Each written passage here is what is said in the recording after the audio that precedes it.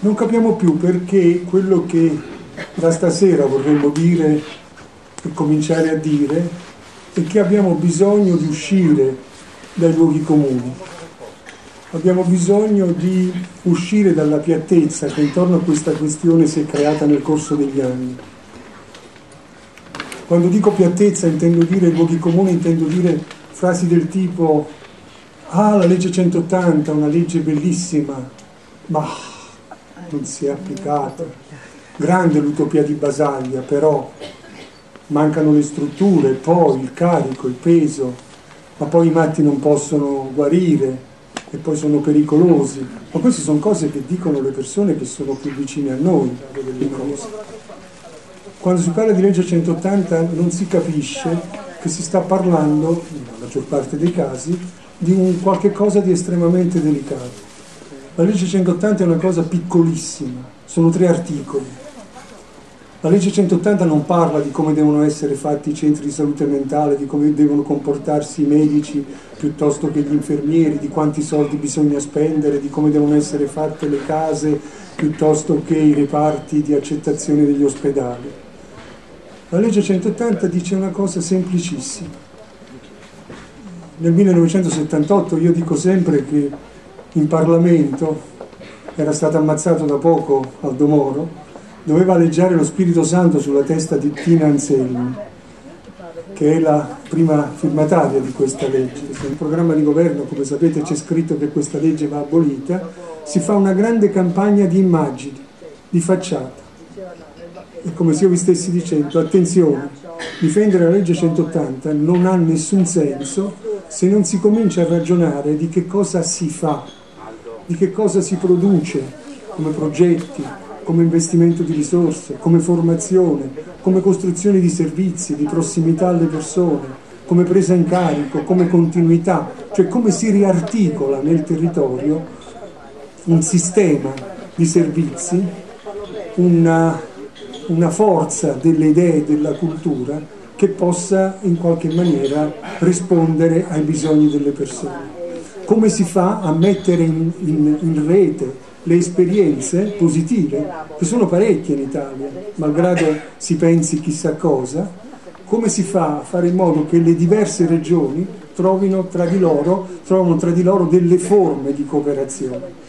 Sull'oggi volevo dire però che eh, forse dobbiamo allontanarci da un atteggiamento di eh, vittime di un attacco e quindi che lo vogliamo o no in, in, un atteggiamento di difesa, cioè che la 180 ha costruito un rapporto tra eh, cittadini e città che va molto al di là e di Trieste e della salute mentale. Attenzione, quelle manifestazioni anche oscene, anche violente, sono il disperato tentativo di non identificarsi con il corpo istituzionale.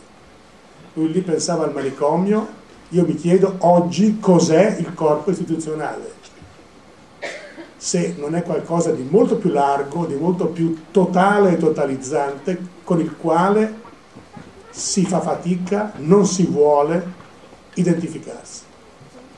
Una politica che prenda questo esempio e lo attraversi deve, secondo me, andare in questa direzione. Diritti e soggettività.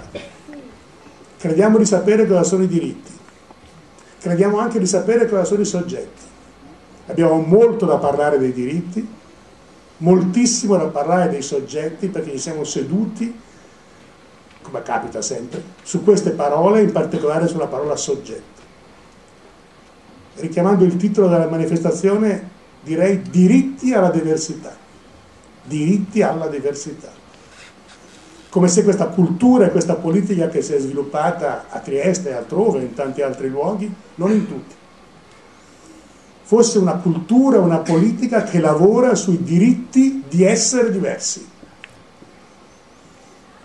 Quindi non solo di essere curati, non solo di eh, non essere dire, violentati dalle istituzioni totali, ma di essere diversi, di essere quello che siamo e di fare valere tutte le caratteristiche della soggettività, tutte le differenze, tutte le diversità che sono quelle senza le quali nessun soggetto esiste, neppure un soggetto politico. Grazie. Qui a Trieste si è cercato di demistificare in concreto una serie di falsi messia che proponevano false soluzioni a un problema che non ha soluzione.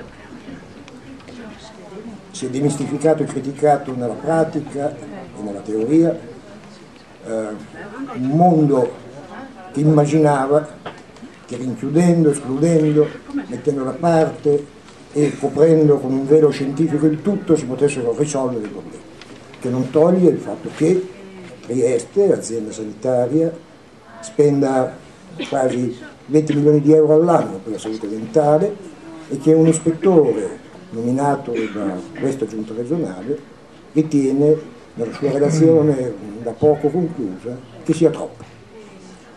Ritiene eh, che eh, siano troppi questi centri di salute mentale ritiene che quello che sia stato fatto in questa città per la salute mentale sia troppo.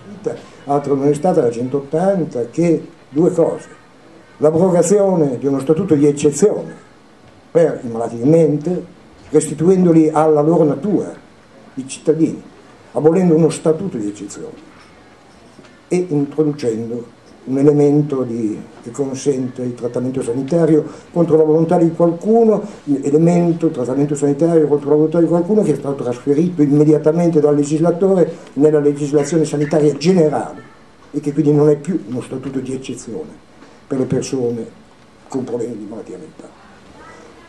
Quindi eh, parlare di eh, cambiare la legge 180 è particolarmente assurdo perché si tratta di cambiare un'abrogazione si vorrebbe ricostruire uno statuto di eccezione? Si vorrebbe ricostruire uno statuto di privazioni inevitabili di diritto perché non c'è alternativa all'avere diritto se non averlo. E quindi qualunque nuova legislazione che si giocasse in questo terreno non potrebbe essere che una legislazione che evidentemente ricostruisce una qualche negazione di diritto in presenza di una legislazione che invece il diritto ha restituito. Altro è l'amministrare altro è l'applicazione a livello regionale di nuove norme, di nuove regole per l'organizzazione dei servizi, ma questo non è compito del Parlamento, è rigorosamente l'esclusivo compito delle regioni e qui bisognerebbe interrogare le regioni, anche la nostra, su inadempienze, ritardi, difficoltà. Si sta arrivando soltanto ora, dopo 30 anni, ad avere circa un centro di salute mentale 24 ore in ogni distretto sanitario di questa regione cosa che la legge regionale prevedeva già nell'80. Il nostro comune è riuscito a prendere 400.000 euro a una cooperativa sociale in funzione di un errore grave, certamente perseguibile, di quella cooperativa sociale. Sociali, parlo delle cooperative sociali di produzione lavoro, quelle che inseriscono davvero persone con problemi dentro il mondo del lavoro. Molto poco si fa ancora dentro questo, questa questione e sono tante le questioni che anche in questa regione potrebbero essere discusse. Un'altra grande questione è quella di, dello sviluppo dei servizi territoriali complessivi, perché non c'è futuro per una politica seria di salute mentale, se non c'è futuro per una politica seria di sviluppo di strategie per la salute in tutto il territorio e su tutti i campi. Perché non crediamo che molti dei problemi, i portatori di diabete, i portatori di scompenso cardiaco, dei problemi degli anziani, dei disturbi cognitivi degli anziani, di certi problemi dei minori, siano differenti dai problemi dei portatori di questioni attenenti alla salute mentale.